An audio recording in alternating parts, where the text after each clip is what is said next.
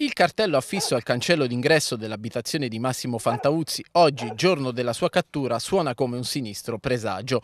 Dopo otto giorni di latitanza, il 46enne pizzaiolo di Montesilvano, che la notte di sabato scorso ha esploso un colpo di fucile in pieno volto uccidendo il 21enne rom Antonio Bevilacqua, si è consegnato ai carabinieri del nucleo investigativo della compagnia di Pescara che lo stavano braccando da giorni.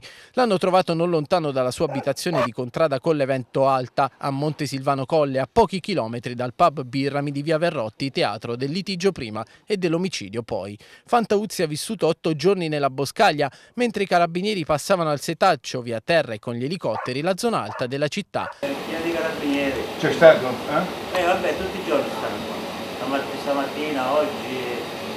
Stremato, alle 9 di questa mattina, ha deciso di arrendersi alla prima pattuglia che ha visto, come racconta il colonnello Marco Riscaldati, comandante provinciale dei Carabinieri di Pescara. Avevamo ristretto il campo d'azione, il cerchio attorno ad alcuni chilometri quadrati e questa attività ha portato i suoi frutti perché anche nelle ultime ore, come dicevo, l'uso dell'elicottero aveva avuto un forte impatto e Fantauzzi a un certo punto probabilmente perché riteneva di essere prima o poi scoperto, si è portato sulla via e si è consegnato ai carabinieri che erano lì. Il cerchio delle indagini ormai sembra chiuso. Fantauzzi è stato interrogato a lungo nella caserma di Viale Pindaro a Pescara, almeno fino alle 14.30 e, dopo iniziali resistenze, avrebbe confessato tutto permettendo ai militari di recuperare prima l'arma del delitto, un fucile, poi la moto con cui è fuggito sabato notte, una CBR 600 della Honda di colore rosso.